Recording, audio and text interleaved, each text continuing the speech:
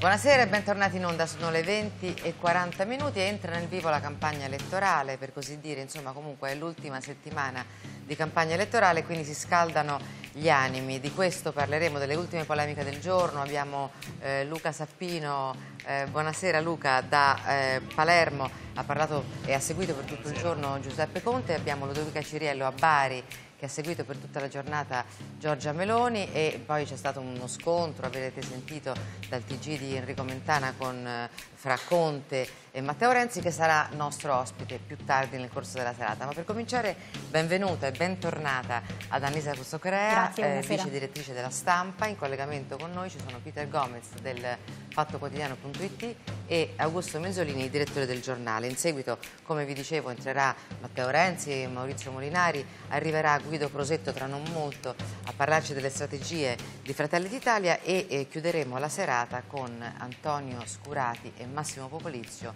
con delle letture da M, Gli ultimi giorni dell'Europa, la terza parte della trilogia su Mussolini di Scurati, ma insomma non parleremo solo di Mussolini evidentemente. Un momento e torniamo con voi.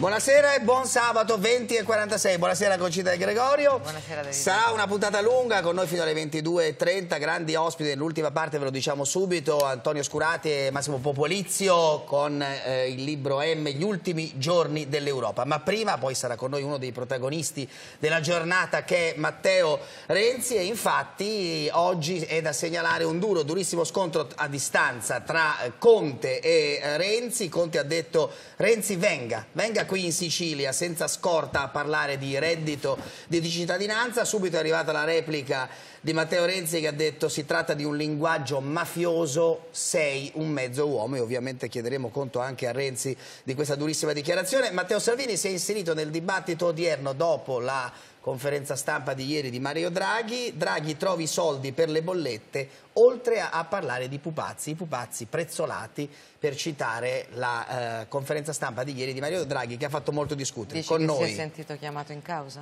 Non lo so, Potrebbe. per il pupazzo, per il prezzolato, No, non lo sappiamo, glielo chiederemo, questo forse può essere. Buonasera a Annalisa Cuzzocrea, vice direttrice della stampa. Buonasera. Parterre di direttori stasera con Augusto Minzolini, direttore di Il Giornale, che oggi ha fatto un titolo molto duro anche nei confronti di Draghi, l'addio di Draghi tra mance e veleni, e il direttore del Fatto Quotidiano.it Peter Gomez. Buonasera Peter.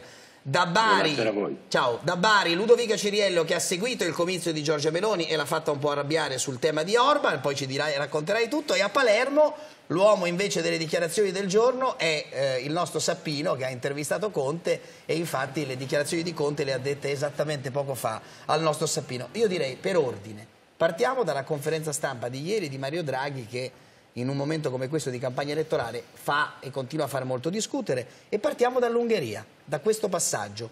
Un giornalista ha chiesto a Draghi conto del voto che c'è stato al Parlamento europeo sull'Ungheria, col voto contrario di Lega e Fratelli d'Italia. Sentite la risposta di Mario Draghi. I nostri alleati sono la Germania, la Francia e gli altri paesi europei che difendono lo Stato di diritto. Cosa farà il prossimo governo non lo so, ecco. Però nella ricerca mi sono chiesto com'è che uno si sceglie i partner, no? Se li sceglie sulla base di una certa comunanza ideologica sicuramente, ma un'altra considerazione che bisognerebbe avere in mente è l'interesse degli italiani. E cioè bisognerebbe chiedersi quali sono i partner che mi aiutano a proteggere gli interessi degli italiani meglio? Chi conta di più tra questi partner? Datevi le risposte voi. Allora, Annalisa Cuzzocrea, intanto questa conferenza stampa è l'ultima di questa legislatura e quindi forse anche Draghi si è sentito più libero di esprimersi, adesso non dico, non, non vorrei usare la parola testamento, però insomma l'ultima conferenza stampa è sempre un momento in cui si dice un'ultima cosa che resta da dire. Mm, eh, ricordiamo ai nostri telespettatori a che proposito si è citato Orban, c'è stato un voto del Certo. Parlamento europeo e quindi in che senso è giusto stare attenti a quale alleati scegliersi? Secondo me si è sentito più libero, come dici tu, forse anche ha sentito una responsabilità perché il voto che c'è stato in Parlamento europeo è un voto molto importante. Che cosa ha fatto? C'è stato un rapporto del Parlamento europeo molto circostanziato su tutte le volte in cui l'Ungheria di Orban ha leso lo Stato di diritto, su tutti i restringimenti di diritti che ci sono, delle minoranze, della libertà di insegnamento nelle università, dei cambiamenti eh, per quanto riguarda la magistratura, l'aborto, credo che ne abbiate parlato anche voi, comunque la crudeltà no, di far sentire il battito del feto a una donna che decide di interrompere la gravidanza. Tutto questo è stato oggetto di un voto e il Parlamento europeo doveva dire se può andare avanti così l'Ungheria continuando ad avere i fondi, a far parte di questa comunità oppure se non va bene. E a votare perché vada avanti così sono stati eh, Fratelli d'Italia, gli europarlamentari di Fratelli d'Italia e della Lega in Italia. Questo che cosa significa per Mario Draghi? Significa collocare l'Italia dalla parte di chi eh, dice che la vera democrazia è quella illiberale, cioè Orban è un teorico, come lo fu Putin in quella famosa intervista al Financial Times, della democrazia illiberale, cioè di una democrazia che sì ha il voto dei cittadini ma poi opera un restringimento dei diritti e delle libertà quindi l'uomo forte al comando, se la vogliamo dire in modo spicciolo. E quindi Draghi ha detto non va bene. Ed è un, molto importante questa cosa che ha detto, perché dico che sente una responsabilità? Perché a Rimini Draghi aveva fatto una sorta di apertura di credito, almeno così era stata letta, aveva detto con qualsiasi governo l'Italia ce la farà. E questo era sembrato una specie di viatico, una specie di patto con Giorgia Meloni, come se ci fosse mondo, un filo quindi, tra certo. Giorgia Meloni e Mario Draghi ed è questa cosa lo chiederemo a Crosetto immagino, era stata un po' coltivata, si chiamavano, c'erano delle chiamate che venivano fatte filtrare. Questo filo io penso che Draghi abbia voluto spezzarlo proprio per quel voto, perché quel voto è stato fatto e rivendicato sia da Meloni che da Salvini, che dicono ai voti degli ungheresi va bene tutto, però se fai parte di una comunità che è l'Unione Europea ha dei valori, non va bene tutto. Menzolini, poi andiamo subito a, a, a Bari dalla nostra Ciriello perché c'è la replica Ma di Giorgia Meloni. Fare una cosa a quello che diceva prima che tu faccia la domanda ad Augusto Menzolini? Eh, molte persone dicono chi se ne importa della politica estera, lo sente un po', una, un, po un, rumore di fondo di queste ultime settimane, no? vedrai che ne parleremo con Crosetto, mi pare che Crosetto lo abbia proprio anche dichiarato, non vi attaccate alle questioni di politica estera, quello che conta è l'Italia. Però quello che dice Draghi in questa conferenza stampa è eh, come ti scegli gli amici, è molto interessante perché eh, dice qualcosa di te, cioè dice qualcosa, non è soltanto eh, come dire, no, un fatto di politica estera, è proprio quali sono le tue relazioni. E ehm, la risposta di Giorgia Meloni è stato regolarmente eletto, quindi che volete da noi, è un leader eletto, eh, mi ha fatto ripensare, David, a quello di cui parleremo poi alla fine di questa puntata, cioè che tanti, tanti sono stati leader eletti Però e poi, poi le cose nella storia sono andate in un modo imprevedibile e anche a volte rovinoso, quindi non è una gran risposta. Scusa, volevo no, dire no, poi lo rigireremo anche a Scurati nell'ultima parte della trasmissione, però ehm, eh, poi andiamo subito a Bari dalla Ciriello, così sentiamo dalla viva voce della Meloni che cosa ha detto oggi. Siccome Minzolini ha scritto l'addio di Draghi tra mance e veleni, allora, le mance lasciamo stare perché evidentemente fa riferimento ai bonus che ci sono, ma i veleni eh, mi interessa e poi chiederti soprattutto, non è un argomento solo di politica estera, è un argomento di, che riguarda le nostre alleanze future. Quindi, come dire, eh, ci investe io... direttamente la questione dell'Ungheria di Orban. O mi sbaglio, Minzolini? Ma guarda, io non ho, ho, nessuna intenzione di difendere Orban, a parte che il fatto che, ecco, che sia stato votato non è un elemento secondario. E io un po' sono rimasto perplesso quando, diciamo, nello stesso discorso, da una parte Draghi dice che non c'è eh, nessun tipo di prova o comunque addirittura nel rapporto dei, famoso rapporto degli 007 americani non era presente l'Italia e dall'altra parte invece continua con una serie di congetture che puntano a dimostrare che c'è o, o Salvini o qualcun altro che hanno avuto diciamo, qualcosa a che fare con i russi. Beh, c'era il famoso viaggio, no, Augusto? Che... Il famoso viaggio di Salvini, ma, ma è realizzato. Quelle, quelle sono agenzie viaggi. Seguimi, seguimi. E non è che il, io parto da un presupposto, l'ho detto il primo giorno, se ci sono i nomi vengano, bisogna tirarli fuori per un motivo molto semplice, perché noi, se noi diciamo una cosa di questo tipo eh, diamo, eh, sono delle accuse gravi, eh, stiamo addirittura in guerra con, di fatto con i russi, quindi è una sorta di alto tradimento. Ma se quei nomi, nomi non ci sono, se addirittura in quel rapporto non, non, non è neanche citata l'Italia, a quanto dice Draghi, continuare a parlarne a cinque giorni dal voto è un modo, è un'ingerenza, è un modo per intervenire, per strumentalizzare, per speculare.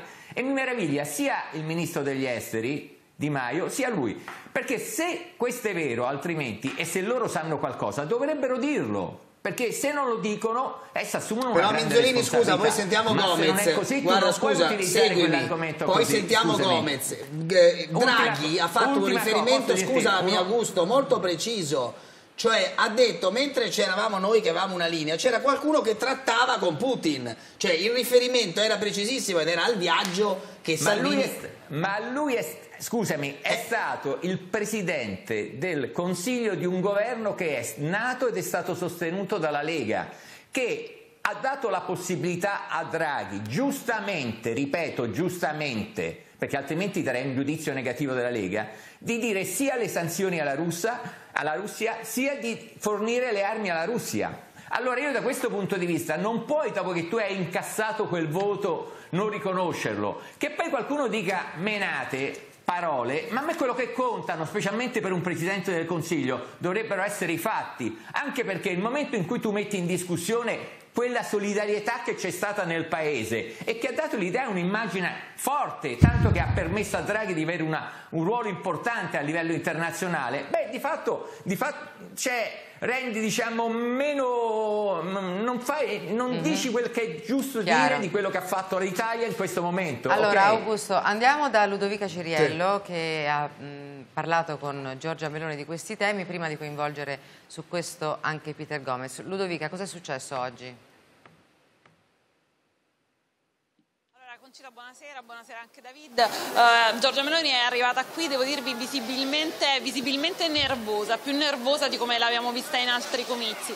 In parte perché questa è sicuramente una regione più ostile per lei, è la regione di Michele Emiliano, a lui ha dedicato gli attacchi iniziali dal palco, eh, ha detto che ha ricevuto una telefonata di Michele Emiliano che non ha ritirato però le parole eh, che aveva detto in precedenza, ovvero dovranno sputare sangue prima di conquistare la regione Puglia, saremo la Stalingrado Italia e, eh, e qui insomma è, è stata molto dura nei suoi, nei suoi confronti e poi eh, abbiamo provato anche noi a chiederle qualche chiarimento per quanto riguarda la sua posizione nei confronti di Orban e eh, come diceva prima Davide l'abbiamo un po' fatta arrabbiare, ve la faccio sentire. Mario Draghi ieri ha detto noi siamo alleati di Francia e Germania e la- ha rivolto una domanda che sembrava proprio per lei. Sulla base di cosa si scelgono gli alleati? Per esempio Orban. Io ho eh, sempre detto quello che penso della collocazione dell'Italia e mi pare di averlo ampiamente dimostrato. Credo in un'Italia che stia a testa alta e saldamente all'interno dell'Europa, dell'Occidente e dell'Alleanza Atlantica. Mi pare di averlo ampiamente dimostrato in tutte le scelte che si fanno e questa è una fase molto particolare. Credo che ad esempio eh, il fatto che mentre noi siamo all'interno di un conflitto internazionale con la Russia e di una guerra che io credo essere una guerra più ampia di quella che riguarda solamente l'Ucraina, no? che ha come obiettivo la revisione degli assetti mondiali, bisogna fare attenzione a dividere il nostro fronte. Questo penso, anche dell'atteggiamento nei confronti no, che si è avuto eh, sull'Ungheria piuttosto che sulla Polonia. Chiaro, però lo Stato di diritto non è assicurato. Senta, la prego però, va bene tutto, però io la campagna elettorale la sto facendo in Italia, mi fate parlare tutto il giorno dell'Ungheria, ma secondo lei mi devo candidare alle elezioni d'Ungheria? La prego, qui la gente non c'ha le bollette, non c'è il posto del lavoro, non sa che fare a scuola e so tre giorni che parlo dell'Ungheria. Quando mi candiderò in Ungheria le risponderò. Vi prego, perché a Letta non è che gli è andata a chiedere l'Ungheria. Eh. Presidente, ma quella di Putin è una democrazia? Allora Peter Gomez è chiaro che a Letta chiediamo altro, lo glielo chiederemo domani in diretta qui, ma non gli chiediamo dell'Ungheria perché il voto di Forza Italia del Partito Democratico è stato contro l'Ungheria e quindi non avrebbe senso chiederne conto. Peter Gomez, eh, perché è così importante questa vicenda del voto al Parlamento europeo di questi due partiti? Eh, allora, chiariamo una cosa. Sì. Giorgia Meloni ha ragione quando dice che credo che all'elettore italiano medio la questione importi veramente poco e importa veramente poco per eh, degli esteri, però è una questione importante. Perché è una questione importante? Perché uh, Giorgia Meloni uh, si propone legittimamente di riformare la nostra Costituzione. Per una Repubblica presidenziale non c'è nulla di male se uh, gli italiani e i parlamentari riterranno di trasformare la nostra Costituzione in Repubblica presidenziale, va tutto bene. Però una Repubblica presidenziale deve stare in piedi per essere tale ed essere una Repubblica, una democrazia liberale con tutta una serie di contrappesi. Contrappesi che in una Repubblica non presidenziale come quella, come quella ungherese sono man mano venuti meno nel senso che abbiamo visto che Orban ha chiuso testate giornalistiche, è intervenuto, come si tentava di fare anche in Polonia, nostro alleato sull'indipendenza della magistratura, eccetera, eccetera. Quindi questa è una visione di fondo che effettivamente interessa pochi italiani, ma è importante sul piano sostanziale. Allora, intanto vedo collegato, grazie Guido Peter, vedo collegato Guido Crosetto che ancora non so come chiamare, a parte Guido Crosetto, ma presto forse dopo le elezioni avremo un sottopancia più chiaro, non lo so, non so, non so, è una battuta. Sì, Guido Crosetto. Sempre Guido Crosetto. Crosetto Guido. Crosetto Guido. Sempre Guido Crosetto. Insomma, Guido Crosetto è stato indicato Possiamo invertire. In, questi, in, queste settimane, insomma, come una persona eh, che segue molto da vicino questa campagna elettorale di Giorgia Meloni, diciamo così, questo lo possiamo dire con, eh, con fermezza. Eh, perché, eh, perché è importante questo voto del Parlamento europeo, Crosetto, se secondo lei è importante? Poi smettiamo di parlare di Orban, ma chiudiamo, chiudiamo questo tema. Guarda, grazie. No, grazie. Il, il, Parlamento europeo ha ritenuto questo voto importante perché sono eh, anni che va avanti eh, un braccio di ferro tra Orban e il Parlamento europeo. È iniziato appena lui ha lasciato il Partito Popolare Europeo ed è continuato da quando lui è iscritto al gruppo misto europeo eh, con alcune contestazioni che fatte, sono fatte non solo a lui ma anche a altre nazioni, ma a lui particolarmente. Il, io su una battuta che ha fatto Giorgia Meloni prima non mi sento di dare torto, ma penso che neanche eh, voi la darete, sul fatto che eh, adelante Pedro si può, diceva Manzoni, e con Juicio, cioè è giusto che l'Europa bacchetti riprenda Orban su alcune eh, scelte che lui ha fatto nel suo paese, è sbagliato spingere Orban nelle braccia della Russia perché tutto possiamo permetterci di pensare nei prossimi mesi, nei prossimi anni, tranne, tranne spingere nazioni eh, nei, nelle braccia della Russia. La stessa Polonia che ormai, come sapete, eh, non ha più rapporti eh, con Orban e con l'Ungheria dopo, dopo, la vicenda ucraina, è diventato probabilmente eh, la nazione più, eh, diciamo, che, che, più contrasta Orban, mm. eh, la Polonia stessa, ha, detto fate attenzione a non regalare un nuovo alleato a Putin. Ma scusi Crosetto, secondo lei diciamo, nella conferenza stampa di Draghi, Draghi ha voluto mandare un messaggio molto preciso anche a, a, Giorgia Meloni per questa amicizia con Orban, cioè quando parla della nostra collocazione italiana e dei nostri rapporti con Francia e Germania, eh, dice una cosa molto netta, ecco perché è importante mm. sapere quale sarà la vostra collocazione. Siamo più amici di Francia e Germania o strizziamo l'occhio a, a, Orban? La... Questo è il punto politico. Guardi, la loro, la loro collocazione, sempre per tornare a Guido Crosetto, eh, sempre per parlare da Guido Crosetto, sarà chiaramente quella che ha indicato Giorgia Meloni, atlantica, europea, quindi col nucleo fondante dell'Europa che vede Francia, Germania, Italia, adesso non c'è più, eh, più, UK, ma Spagna, e, e che dà la stessa dignità a tutti i paesi europei e che tende a mantenere unita Lei cosa avrebbe votato? Scusi forte, se insisto. Una, lei, una mia curiosità, lei fosse stato all'Europarlamento, che cosa avrebbe votato? Guido Crosetto, con questo sottopancia, cosa avrebbe votato all'Europarlamento? Se, se lei, se lei, visto, visto, che lei mi conosce, sa che non avendo io letto il documento non posso risponderle, perché io normalmente Beh. ho sempre avuto l'abitudine di leggere. L'abbiamo pubblicato su tutti i giornali. La stampa, su tutti contro. i giornali. Eh, è un escamotage interessante suo, però io sono sicuro che lei la risposta ce l'ha. Che cosa avrebbe votato all'Europarlamento? No, no, guardi, guardi, guardi No, guardi, in questo caso no, perché no. in questi giorni sto facendo altro, per cui vi confesso che, che, non ho letto Ma perché le, ho problemi molto chiedere? più grandi. Sì, no, no, no, subito... vi spiego anche perché, eh, perché ho problemi molto più grandi perché noi che lavoriamo nel mondo reale ci dobbiamo scontrare con la possibilità reale. o meno di tenere aperte delle aziende. Per, No, no, reale, no, no, ma il mondo reale eh, non ha nulla di eh, diverso. Per, per, te giornalista il mondo reale è chiaramente quello del giornalismo, anche no. per me è quello di far consentire alle aziende che magari stanno in piedi da Le 70 anni. do una notizia, anni. vivo nel mondo reale. Sì, ma io vivo in un mondo No, ma lei ah. vive nel mondo reale ah. che, è, che, esercitando una professione, nel mio mondo reale che è diverso Va dal bene, suo. No? Sì. Il problema principale di questi giorni è come tenere aperte delle aziende che sono passate da 150 mila euro di bollette al mese a un milione e mezzo mm. Scusa, e che hanno magari 500 persone che sono in cassa integrazione e a cui vorrei che domani Ma ci fosse di nuovo un lavoro da dare. Per cui capisco che per voi sia un problema minimale rispetto all'Ungheria, per noi che viviamo no, questi no, problemi eh, diciamo banali sono problemi enormi, eh, enormi. Scusi Crosetto, do subito la parola a Annalisa, ma eh, ha detto sono molto occupato in questi giorni a eh, risolvere queste questioni. Esattamente che cosa sta facendo? E a occuparmi per... di queste questioni. Sì, che cosa sta facendo esattamente? Beh, guardi, guardi quando, lei problema, no, beh, quando, lei ha dei problemi così personali, cosa deve cercare di riconvertire?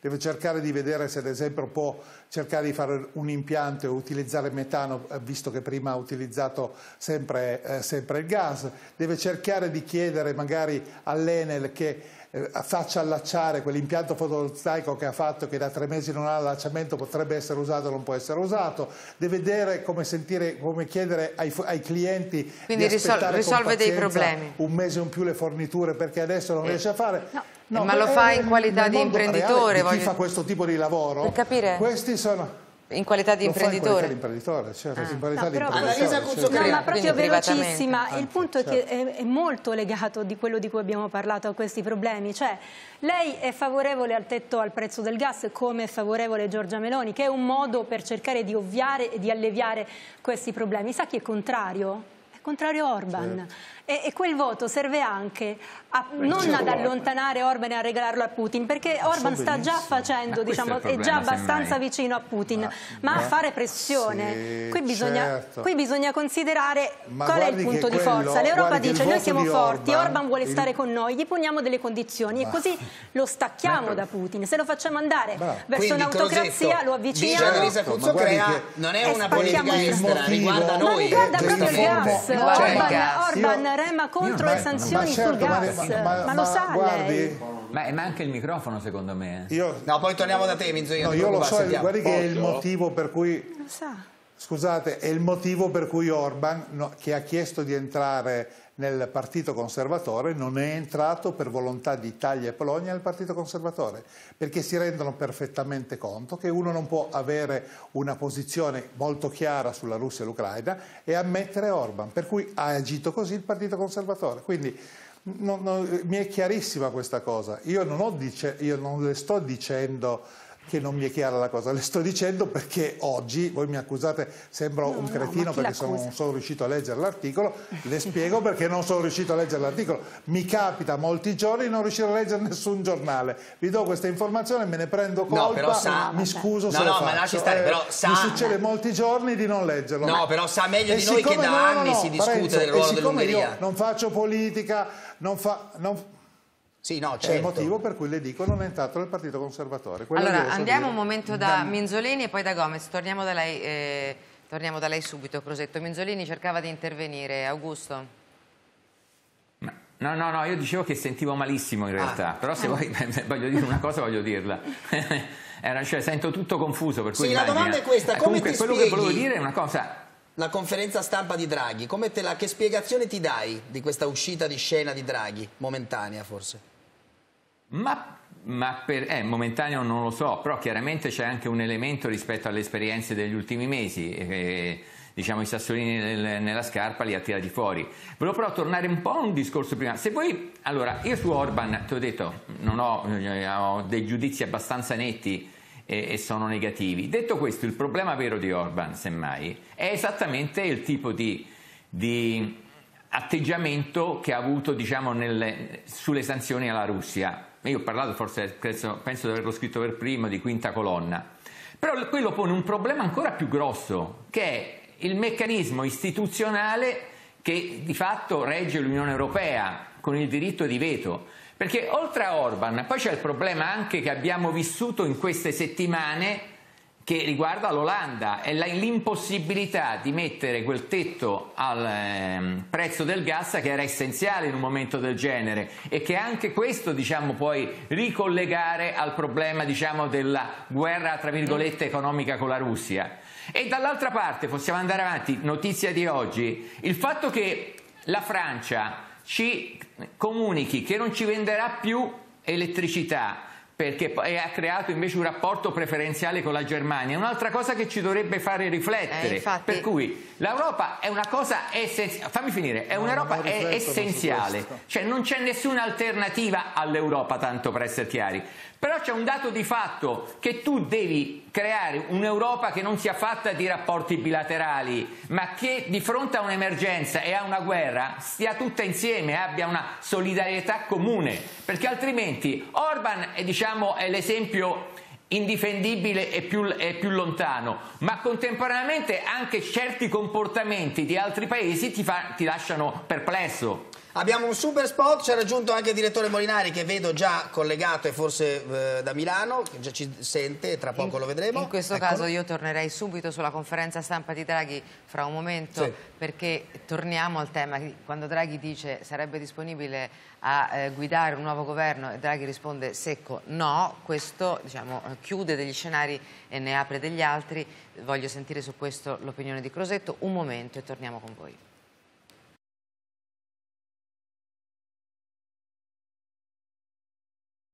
E te la scrivo.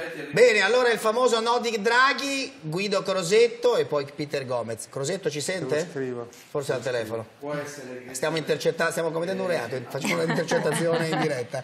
Crosetto mia moglie. No, ah, no, pensavo... Stavo parlando con mia moglie no, che, come sa, le mogli vengono prima di chiunque altro. No, quindi... perfetto. Beh, no, l'alibi è perfetto, sono in televisione. mia moglie che mi chiedeva la password del computer perché i miei figli vogliono vedere un film e mi sa no, Pig. Non volevamo... Se gliela do in diretta, così faccio come Gasparri. Non volevamo... Ma gliel'ha data la password, molto eh. importante, gliel'ha data la password? Eh? No, non sono riuscito, adesso appena finisco di rispondere Beh, scrivo. Mi raccomando, non Peppa Pig, eh, comunque. Diceva giustamente Prego, Crosetto. No, l'ho cambiata, cambiata, dopo aver sentito Mollicone quella. Evviva. Crosetto, il no di Draghi. Il no di Draghi che cosa cambia in questa campagna, in questa ultima settimana di campagna elettorale? Se ci proviamo. A me il no di Draghi non colpisce perché lo davo per scontato già da tempo, perché era chiaro che Draghi avesse idee diverse per sé e per il suo futuro, che considerasse chiuso suo, la sua parte di servizio allo Stato come Presidente del Consiglio.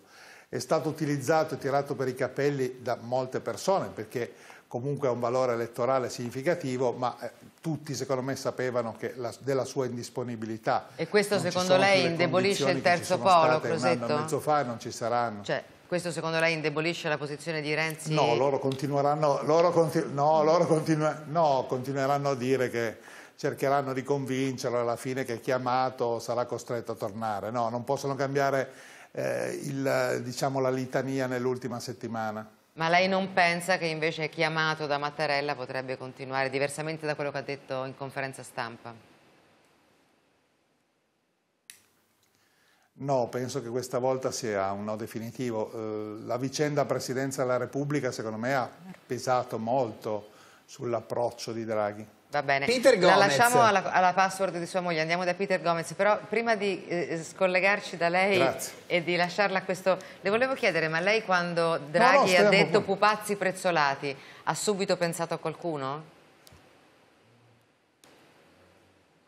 No, sarei stato, se fossi stato in conferenza stampa, gli avrei chiesto dei nomi e in un'intervista che ho rilasciato oggi per un quotidiano che c'era lunedì lo invito a farci i nomi perché sono curiosissimo. Però Salvini, sentito, però Salvini si è sentito chiamato in causa, ha risposto come se parlasse con lui?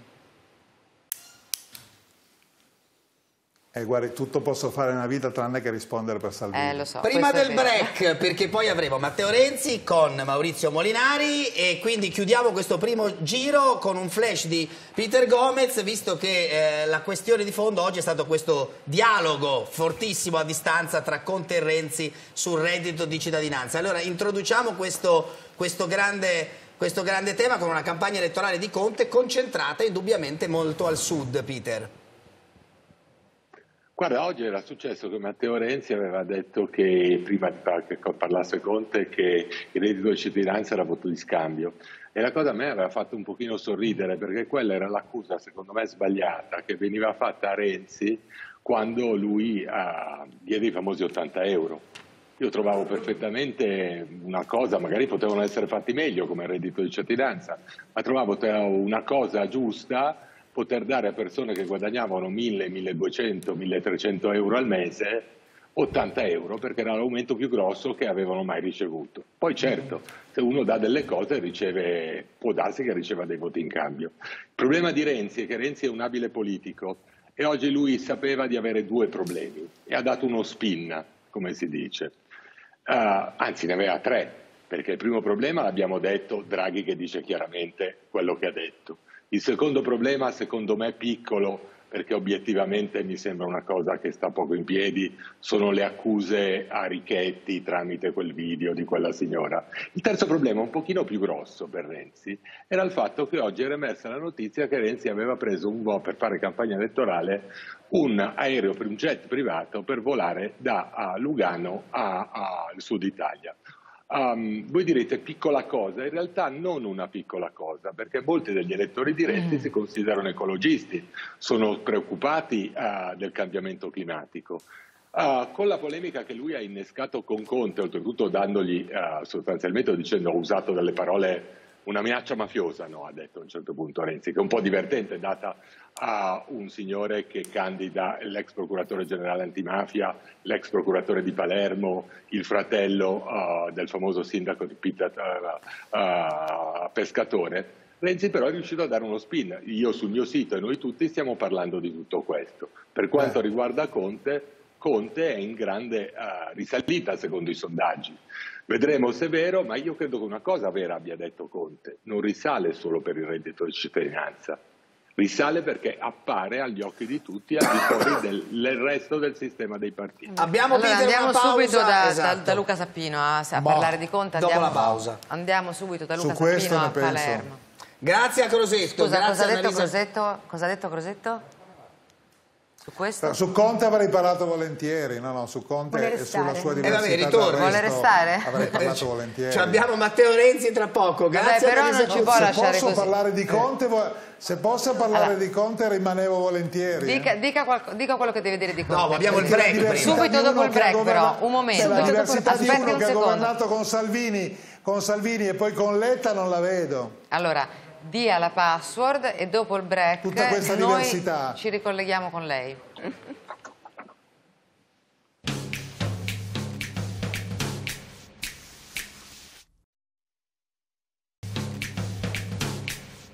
Va bene, 21 e 23, Crosetto è rimasto ostaggio nostro e intanto allora gli facciamo vedere, così diamo la possibilità di rispondere, la uh, replica che Conte ha fatto nei confronti di Draghi. Il nostro Luca Sappino oggi lo ha uh, intervistato, sentite questo passaggio importante.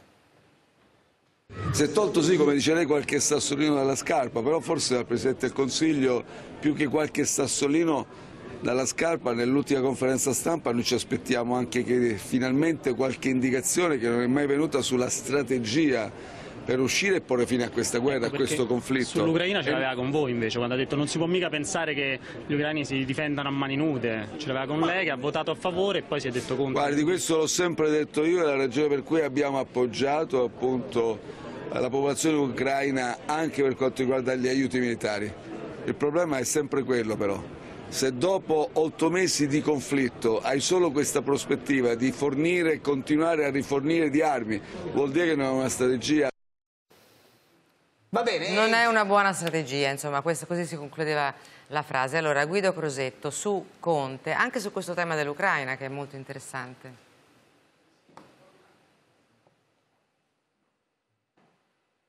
Affidabili come dirigenti. Di Conte, ma quello che voi dicevate, no? Conte? Cioè quello che, il fatto che Conte fosse diverso dagli altri. Conte ha fatto governo prima con Salvini e ha sposato la politica di Salvini per i primi anni, poi ha sposato quella di Letta e alla fine ha appoggiato il governo Draghi da cui si è sfilato negli ultimi due mesi, per cui non, non ho intravisto tutta questa diversità rispetto agli altri partiti che adesso lui tratta in, in questo modo, con questa superiorità. C'è una, una battaglia politica in corso, c'è una un'elezione in corso, Conte ha sposato alcuni argomenti molto chiari che sono argomenti non di Conte, del primo Movimento 5 Stelle, no? che nascono prima che Conte sì. entrasse in politica, sostanzialmente il reddito di cittadinanza e una mentalità assistenzialista nelle zone eh, diciamo più povere eh, del paese. A questo si contrappone un altro modello di visione che è quello di dire io devo dare le condizioni affinché un giovane possa guadagnarsi il suo futuro e non dipendere dallo Stato. No? Un Nobel dell'economia, Amartya Sen, ci ha spiegato che la povertà è la mancanza di occasioni, la mancanza di possibilità per emergere dalla povertà. Allora io penso che un Paese debba porsi a fianco agli interventi di prima necessità nella, eh, in prima linea la costruzione di occasioni di lavoro, di crescita, di autonomia, di vita propria da parte di un giovane e questo vuol dire anche mettere in concorrenza il reddito di cittadinanza con posti di lavoro pagati il giusto, perché molto spesso dicono, quando giustificano il rifiuto da parte di giovani di molti posti di lavoro, dicono perché quei posti di lavoro sono sottopagati. Allora lo Stato deve garantire che i posti di lavoro offerti siano offerti con contratti e orari standard e che non ci sia nessuno che approfitti della povertà per far lavorare le persone in condizioni Grazie, che Crosetto. non sono degne di Cuzzo uno Stato crea perché poi l'altro ospite... A quel punto tu smonti le ragioni... Le di uno strumento come il reddito. Ho, ho soltanto un'ultima curiosità, ma telegrafico, Crosetto, perché è arrivato il nostro ospite. Eh, lei teme eh, che, come osservatore naturalmente, sempre come Guido Crosetto, lei teme che ci possa essere uno smottamento di Forza Italia e Lega e che quindi l'alleanza di centrodestra eh, diciamo, possa essere un po' zoppa e arrivare eventualmente dopo il risultato elettorale non così in forze? Questa perdita di consensi di Salvini e di Berlusconi la preoccupa? No, non mi preoccupa. È telegrafico. È, è, è, ormai il modello Draghi, no? il modello risposta Grazie, Draghi. Crosetto. Analisa, allora, sono, stanco, sono, molto, sono molto stanco, mi scuso. No, no, no va benissimo, non Buona la preoccupa. serata, grazie. Analisa a chiudere. Ma Annalisa, nonostante... la domanda è proprio questa, così ci aiuti anche a introdurre il, eh, Matteo Renzi che è qui dietro le quinte. E la questione del reddito di cittadinanza, quanto può aiutare Conte nella sua campagna elettorale? Sì, ma non è solo quello, non credo che sia solo quello. C'è quello, c'è anche il discorso che ha fatto Guido Crosetto, Conte l'uomo dei bonus, ha davvero una visione assistenzialista, l'ha avuta in un momento difficile come il Covid, però ha assistito davvero il reddito di cittadinanza. Io non ce lo vedo un nuovo governo che, come prima, ma lo dirà forse Matteo Renzi, come primo atto leva il reddito di cittadinanza a persone che magari solo grazie a quello riescono a vivere. Non è solo questo, secondo me Conte, nonostante le palesi contraddizioni che abbiamo appena visto sull'Ucraina, voto per l'invio alle armi ma sono contro l'invio alle armi, ha azzeccato due cose, ha azzeccato la campagna elettorale. La prima è stata tenere fuori di Battista la, la troppo barricadere anti-atlantica e quindi comunque è governista in qualche modo e la seconda è stato il limite del doppio mandato. Mantenerlo ha dato un'idea di rinnovamento e questo gli sta giovando. Grazie Annalisa Cuzzocrea e mentre salutiamo Annalisa Cuzzocrea, Maurizio Molinari, direttore di Repubblica e eh, con noi in studio Matteo Renzi. Benvenuto, benvenuto. Buonasera, buonasera. benvenuto. Come sta? Bene, bene, molto bene. Mi aveva bene. telefonato durante la diretta. Eh, no, c'è a Roma, c'è una... C'era molto traffico. Vogliamo andare Mi subito... Mi telefonato per dire che era in ritardo. Eh, infatti Vabbè, non far vedere di... il telefono adesso Capito, non è che ho delle cose, ma non si fa così dai ma, che... ma, ma, allora, cerchiamo di essere seri allora, andiamo da Sappino Luca Sappino telefonato Luca Sapino, la giornata di Conte e veniamo Sì. a, eh, alla- al grande scontro, beh, insomma diciamo al piccolo scontro Oh. politico, perché poi è sempre lo scandale du jour, come dicono quelli che parlano le lingue. Andiamo, Sapino. Sono, sono delle fiammate, Concita. In particolare questa arriva al termine della seconda giornata che eh, Conte passa in Sicilia. Ricordiamo che in Sicilia si vota anche per le regionali e Conte sta facendo una campagna sul territorio sui temi del Movimento 5 Stelle, quindi eh, transizione ecologica, eh, legalità, c'è candidato eh, Scarpinato e reddito di cittadinanza. Sul reddito di cittadinanza si è innescato eh, lo scontro con Matteo Renzi perché io ho incontrato Conte a Agrigento, gli ho letto un'agenzia eh, di Renzi e penso si possa vedere la risposta eh, di Giuseppe Conte. Sei stato tu quindi, vediamo. Ma Renzi parla di vergogna, ma se non si vergogna lui, senatore della Repubblica che si è fatto pagare dagli arabi e ha fatto una marchetta sul rinascimento saudita, si possono vergognare le persone che prendono il reddito di cittadinanza, lui che prende 500 euro al giorno, ma non scherziamo. Reddito sarà probabilmente cancellato dal Ma prossimo secondo lei, secondo lei queste persone che applaudono prendono tutti il reddito di cittadinanza? Renzi deve fare una cosa, venga finalmente senza scorta in mezzo alla gente a parlare, a esporre queste sue idee, venga a dire che in Italia non occorre un sistema di protezione sociale prima di parlare, venga a dirlo e non si nasconde. Senta Renzi, lei ha poco fa, se non ricordo male, chiamato la ministra Lamorgese e lo ha, leggo adesso da un'agenzia, eh, perché la sua, i suoi social sono subissati di minacce di morte, così? Venga senza scorta è una frase che può dire un bullo di periferia, non un ex presidente del Consiglio. Vede, se lei domani sera invita qui Giuseppe Conte e il sottoscritto per parlare di reddito di cittadinanza, Magari. del fatto che Giuseppe Conte ha cancellato l'unità di missione sul dissesto idrologico, quella che non ha speso per colpa sua, quegli, quegli 8 miliardi di cui 45 milioni, sapete per chi erano dedicati? Per la cassa d'espansione del MISA a Senigallia. Se vuole parlare di come si fa i posti di lavoro, di come si fa la transizione ambientale, io ci sono.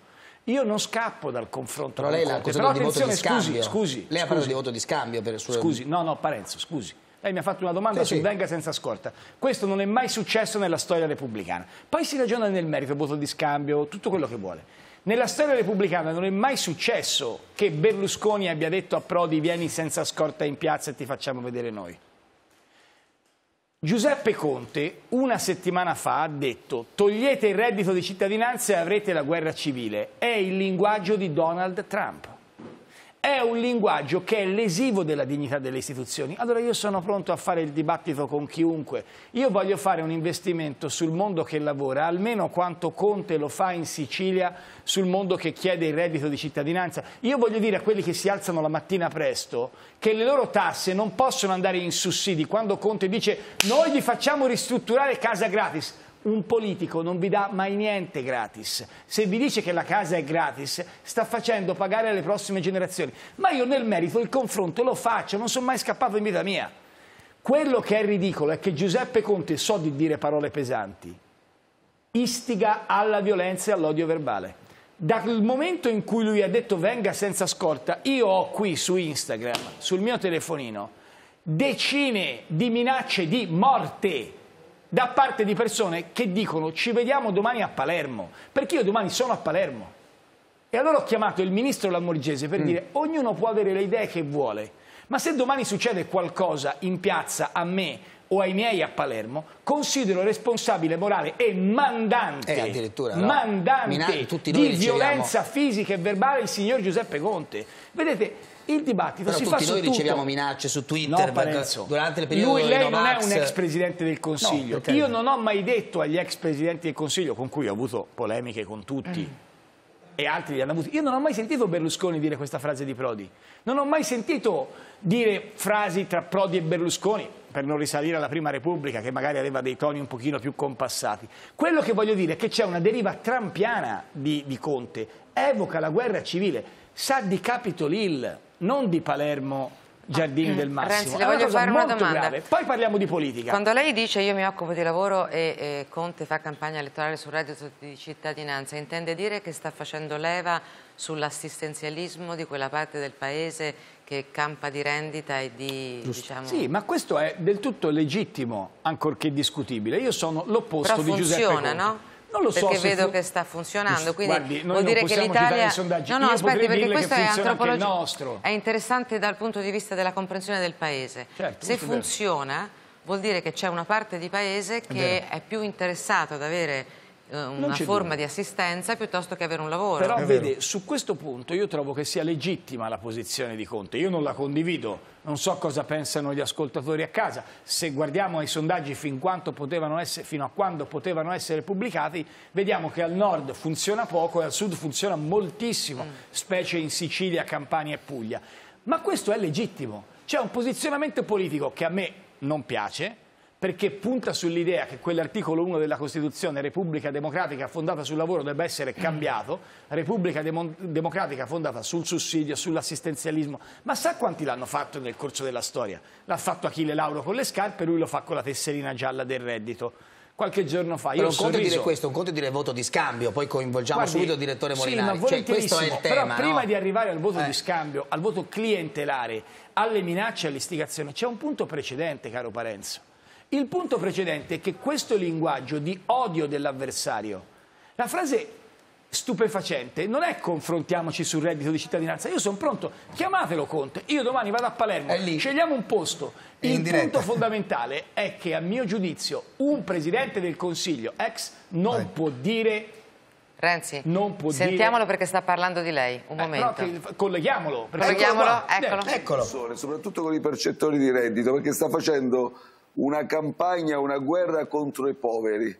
E Ma si allora può parlare io vorrei invitarlo a parlare con le persone, con Ma i percettori di reddito. Ne sono tantissimi, Ho capito, ma scusi, ma perché non Sono parla persone allora? Sentiamo in diretta la replica. hanno potuto Siccome- mettere un piatto per i propri figli, sono persone che finalmente hanno potuto comprare un paio d'occhiali da vista che non si potevano permettere, addirittura qualcuno mi ha parlato Eh, così gli di essere riuscito ad acquistare una Ma protesi. perché non possiamo una dialogare? Eh, perché al TPI non Festival, poteva non è con noi, quello sono ho delle capito, però, realtà vabbè, allora- di vita molto diverse rispetto invece a quella realtà di frodi, di inganni che sono... Va bene, Però torniamo è in chiaro, studio, torniamo in studio, però è chiaro, mi scusi Renzi, mi scusi, mi faccia, mi faccia fare una chiosa di poi- 10 secondi e poi le Eh. do la parola. È chiaro che Conte sta facendo campagna elettorale su questo. Ma è Chi non si può questo. comprare un paio di occhiali e io gli do i soldi per comprarli. Perché per uscire dalla povertà devi dare lavoro, non sussidio. Cioè io nel merito penso di avere un'idea diversa su cui sono convinto. Se vuoi far comprare un paio di occhiali, se vuoi far uscire dalla povertà, non dai l'elemosina dello Stato a 500 euro. Guardi che quando io ho fatto il Premier, quando sono arrivato, il governo Letta aveva lasciato 20 milioni di euro all'anno sulla povertà. Io sono lasciato la campanella, come è noto a Gentiloni, c'erano 2 miliardi e 700 milioni. Allora è evidente che il tema della povertà esista. Penso, per come l'ho studiata io, dagli studi del premio Nobel Esther Duflo fino alla concreta quotidianità del Banco Alimentare, della Caritas, tu sai che per combattere la povertà occorre dare dignità e lavoro, non soltanto un reddito. Ma su questo punto possiamo discutere. Lei lo chiama, siamo in trasmissione, siamo due avversari chiaro, politici. questo è- Scusi, questo passaggio per cui io dico io ho minacciato lui mandante è perché se lui dice vieni senza scorta, che frase è vieni senza scorta? Molinari. Perché scusi, perché se vengo con la scorta cosa cambia? Senza scorta mi picchi? No, era forse un... No, io non devo difendere scorta, Conte, che un brutto dire? modo di Conte dire come il dire senti la della reazione scorta della mia. gente. Non è questo il Questo punto. è chiaro, non c'è ragione, ma questo perdonate, poi finiamo e parliamo di contenuti.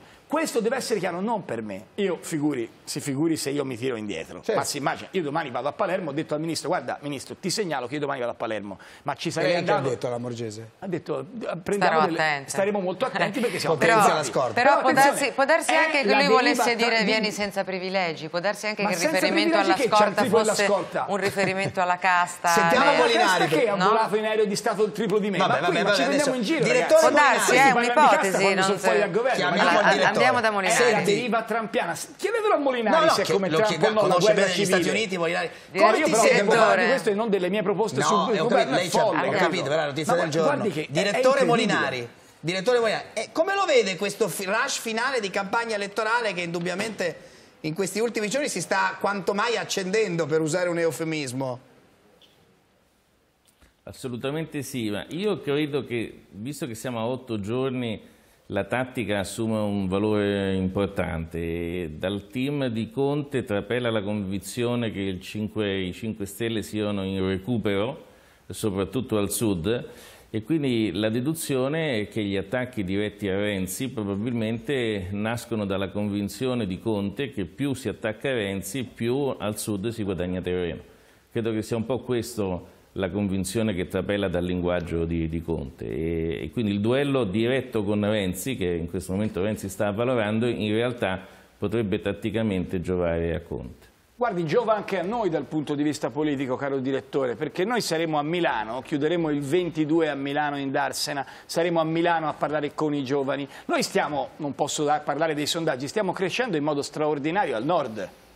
È, come dire, se è giusto il ragionamento che fa Molinari, e io trovo che abbia un senso molto serio, questo è molto vero. Cioè io voglio parlare alla gente che lavora, voglio dire che il terzo polo con Carlo Calenda, Azione Italia Viva, siamo quelli che chiedono a chi crede nel lavoro e non nel sussidio, in Industria 4.0 e non nel reddito di cittadinanza, nel Jobs Act e non nel bonus zanzariere, nel commissario figliuolo e non nei banchi a rotelle. Quindi è una diversità di mondo, ha ragione Molinari. Quello che però sul quale Molinari non dice una parola, e mi, dis- mi dolgo di questo e me mi, mi dispiace, è che il tono che viene utilizzato quando tu dici senza scorta non fa riferimento alla casta, perché se la scorta è casta, si sappia che Conte ha la scorta tripla della mia. Cioè fa riferimento a un'aggressione. Il un, punto cosa, è, senza, è trampiano il linguaggio. Amici, se uno dice voglio, a, se togliete una legge dello Stato c'è la guerra civile e lo dice un ex premier, lo dice uno al bar,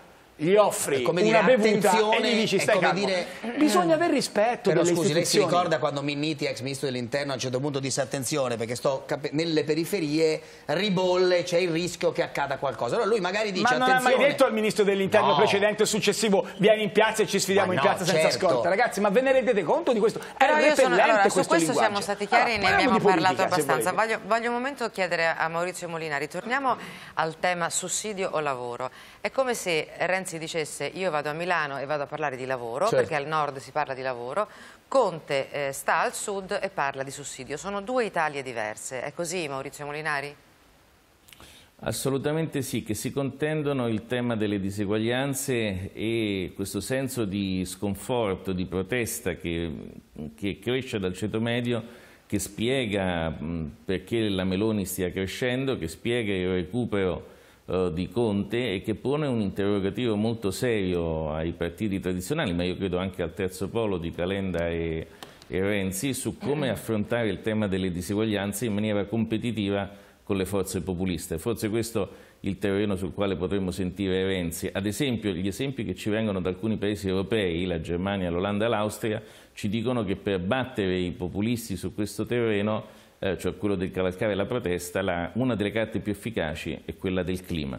Perché anche il voto a Meloni è un voto di protesta. Ma questo è un Renzi. tema molto interessante. La domanda è come si fa a dare una mano alle persone? Primo punto, per me creando lavoro. Oggi noi abbiamo una situazione nella quale in alcune parti del paese non si trovano lavoratori.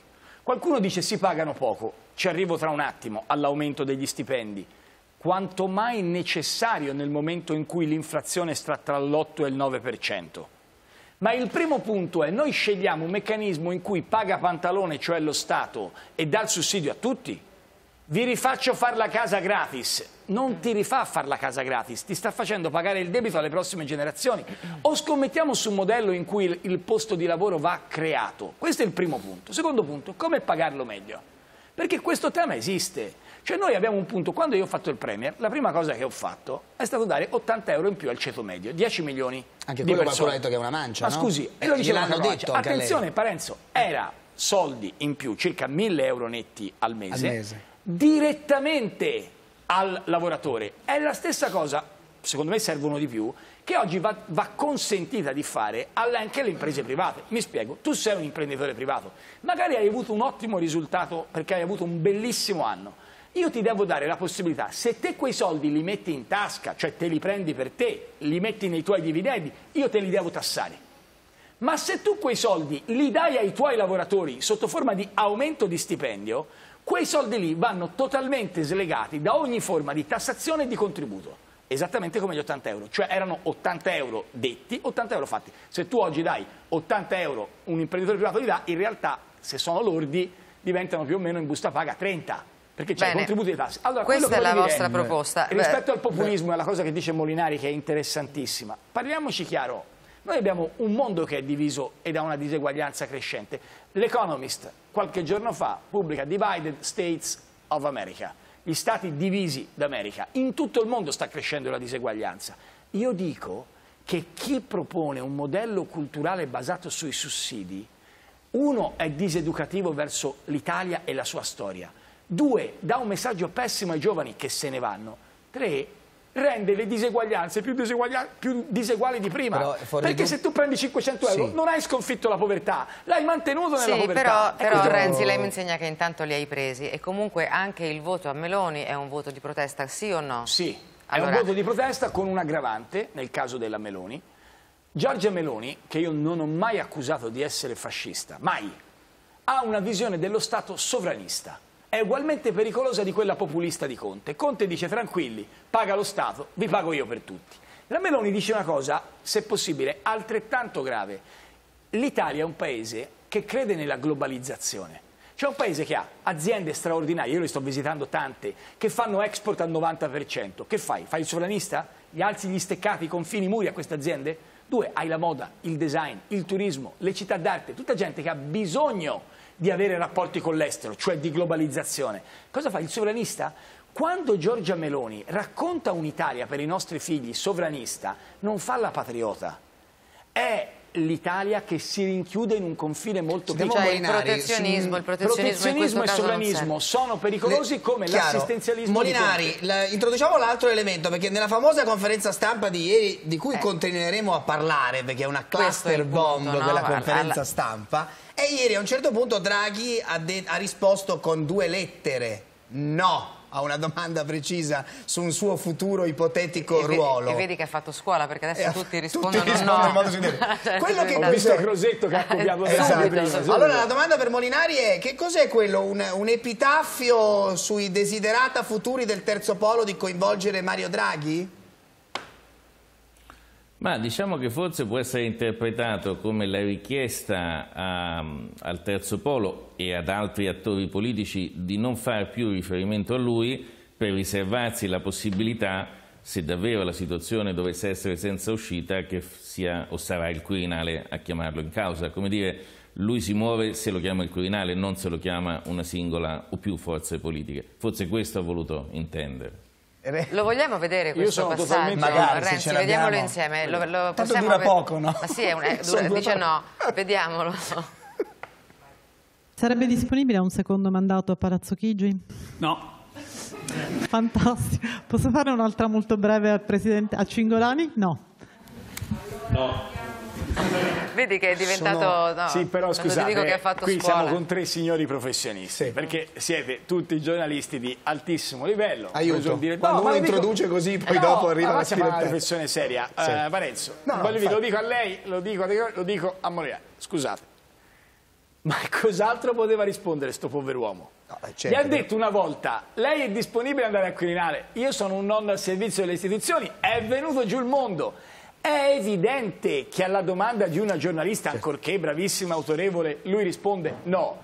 La vera riflessione l'ha fatta Molinari prima. La domanda, se mai ci saranno le condizioni politiche, cioè se la Meloni non avrà i voti per governare, che naturalmente scopriremo tra una settimana, non è che gliela fa Matteo, Concita, David o Maurizio, gliela fa un signore che si chiama Sergio, se ci sono le condizioni. Sì, sì.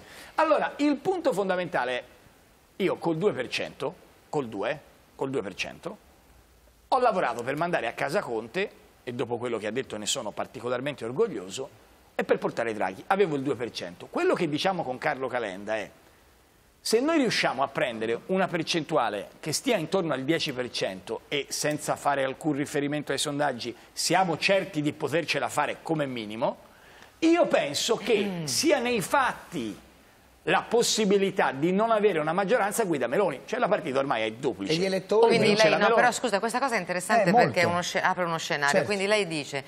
eh, Draghi a un giornalista, a una giornalista dice per forza di Eh no, beh, perché povero. la volta Sì, che ha detto quello, ni è, è venuto giù il mondo, quindi dice di no.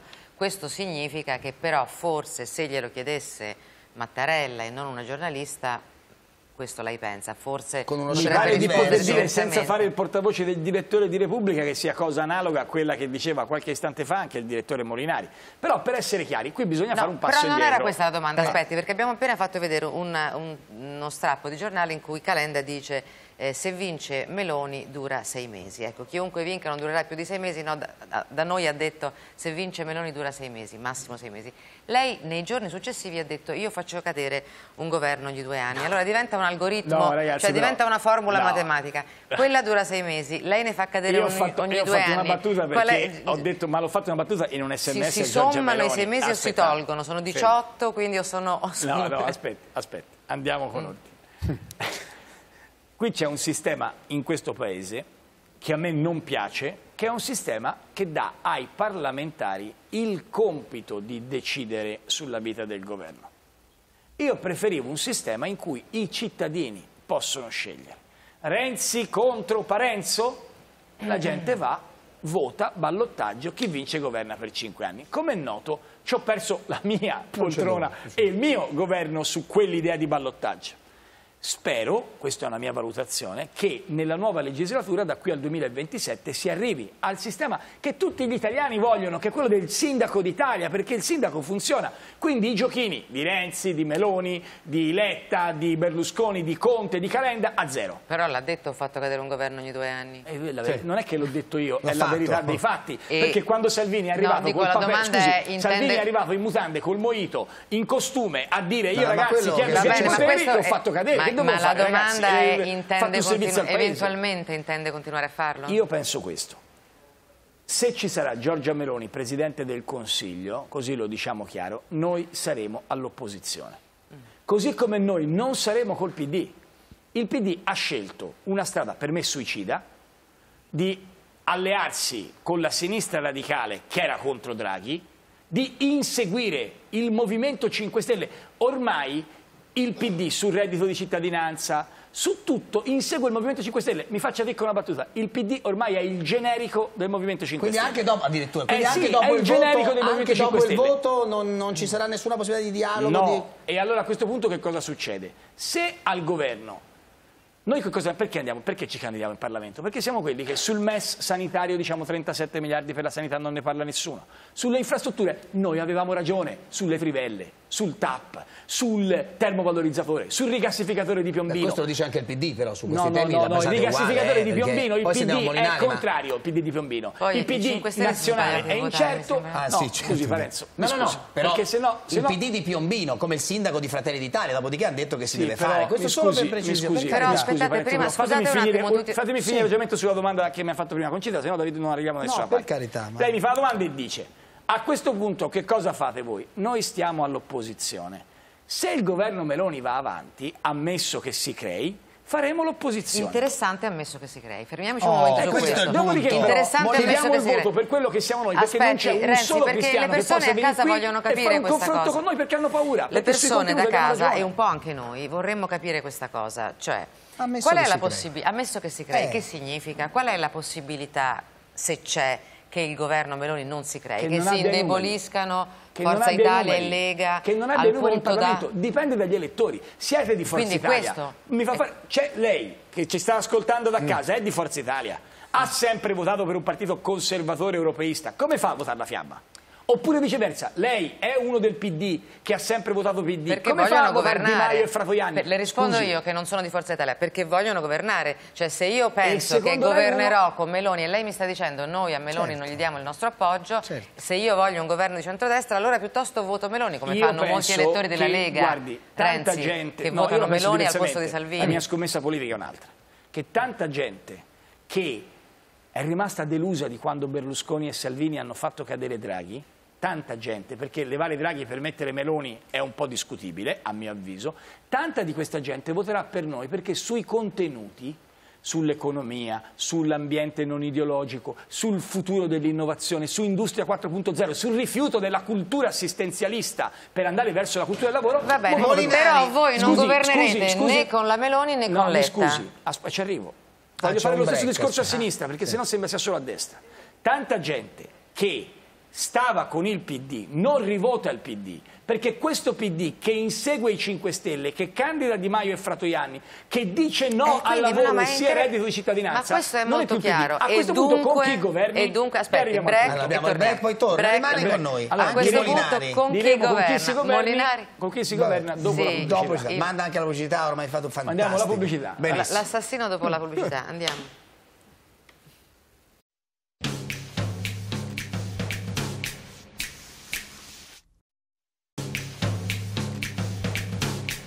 22.01 in diretta, la replica di Renzi. Allora, Ricapitolando, Allora, al la, la- la risposta che tutti si Al aspettano. volo, no, tutti si aspettano. Se vince Meloni noi all'opposizione, se non ci sono i numeri per la vittoria di Giorgia Meloni, è chiaro che ci deve essere un governo istituzionale. Io, come sapete, ho la mia tesi e preferenza, ritengo che a quel punto Draghi non potrebbe che dire sì.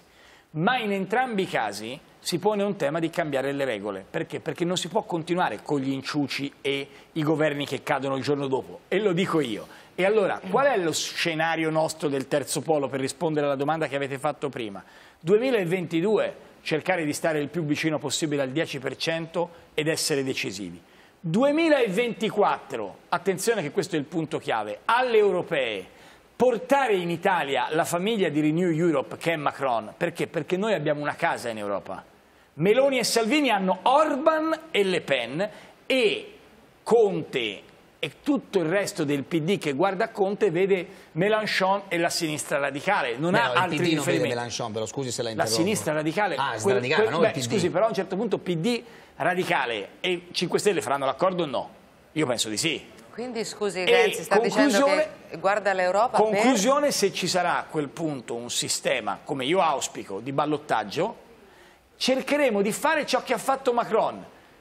Cioè, ci deve essere Spolpare- la riforma intanto. Esattamente, lavoreremo per questo. Siamo abbiamo già detto che noi siamo pronti a partecipare ai lavori di un'eventuale commissione bicamerale costituzionale per superare il bicameralismo e per fare il ballottaggio e a quel punto l'obiettivo è lo stesso, prendere da sinistra e da destra e fare un grande Senta, centro scusi, l'ultima domanda. macroniano e vincere Questo nel governo 27. istituzionale, se Draghi dicesse il vero, cioè se non fosse davvero disponibile, può darsi, no? Diciamo, esiste la possibilità. Poniamo che Draghi Non ci- dica la verità. non ci crede nemmeno Se lei. Draghi dice la Non ci verità e non è lei. disponibile, mettiamo che la Meloni per eh, uno smottamento di- degli alleati non ce la faccia a formare il governo. Non credo che lei pensi a un'alleanza Letta-Meloni, no? il famoso governo rossonero di... Se c'è il governo istituzionale, ma lo vedremo soltanto dopo, vedrà che alla fine saranno costretti ciascuno a fare i conti con se stesso. Beh, Letta non sono no. in grado. Io, guardi, le previsioni del PD sono di quel partito che diceva o Conte o morte mentre io portavo Draghi. Allora, Va bene, ma la domanda era, questo governo chi istituzionale, chi lo fa? io Chi lo allora, fa? il Sì. tema è chi ci segue da casa deve sapere che i governi si fanno in Parlamento. E quindi il voto utile Sì, non ma è lei su ce l'ha in mente però. No, no, no, io ho in mente Draghi, gliel'ho già detto, per cui io ho in mente te. Il punto Adesso sentiamo fondamentale, Molinari, scusate, precisa, scusate, sì. la questione è molto semplice. Finché c'è questo sistema istituzionale, voi non eleggete un Presidente del Consiglio, diciamolo a casa, ma è chiaro, eleggete se- dei parlamentari. Io penso che parlamentari che sono per il lavoro, per le infrastrutture, che non dicono sì all'assistenzialismo, che non sparano balle sull'Europa, che stanno con Macron e non con Orban, siano presenti in quantità industriale solo nel terzo. Molinari, per questo allora, così facciamo un passo in avanti, ma rimaniamo a questo tema che è un tema enorme che discuteremo. Eh, Secondo te, direttore, eh, questa campagna elettorale ha reso molto più netti le- nette le identità dei partiti? Cioè, quando Renzi a un certo punto ci di- dice una cosa che aveva già detto in realtà, voglio fare al PD quello che Macron fece ai socialisti francesi. E alla destra. Lei l'aveva già detto questo destra. quando se n'è uscito dal PD, lei l'aveva già detto. Ma questa campagna elettorale qui sta, nette- sta veramente creando delle identità così definite e forti nei partiti?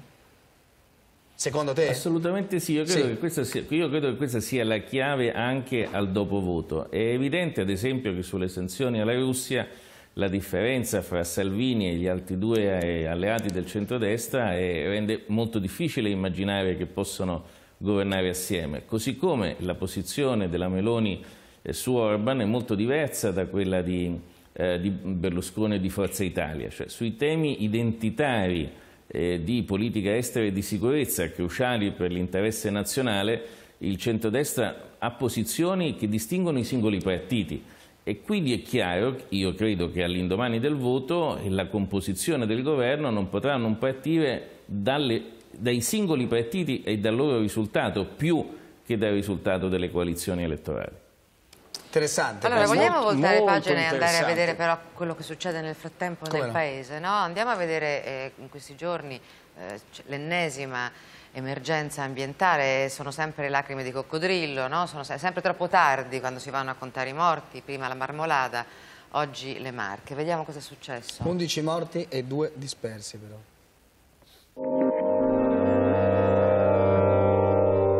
la luce non c'era, solo quei lampi vedevamo perché era tutto di notte. Le porte le ha sbollate tutte, tutta la forza, le piante, tutta con la legna.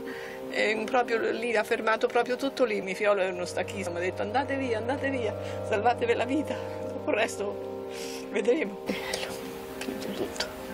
Allora cominciare da capo.